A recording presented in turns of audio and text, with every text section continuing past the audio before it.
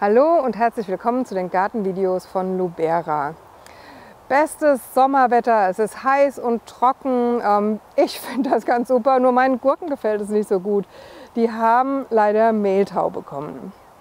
Echter Mehltau bildet sich auf den Oberseiten von den Gurkenblättern. Dadurch kann man ihn auch unterscheiden von dem falschen Mehltau. Der erscheint nämlich auf der Unterseite der Gurkenblätter.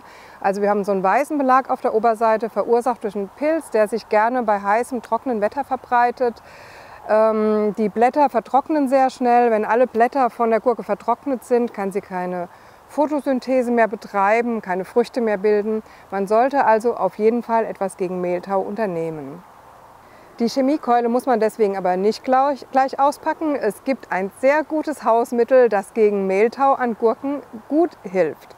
Alles, was ihr dafür braucht, ist Magermilch, eine Sprühflasche und Regenwasser.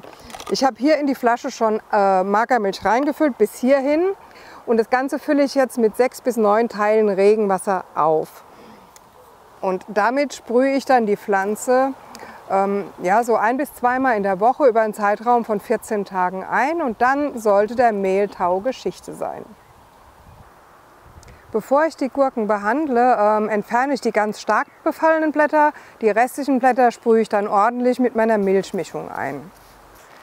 Der einzige Nachteil von dieser Behandlung ist, dass es irgendwann mal so ein bisschen säuerlich nach Milch riecht. Aber dafür müsst ihr euch keine Gedanken um chemische äh, Inhaltsstoffe machen und könnt eure Gurken ganz einfach essen.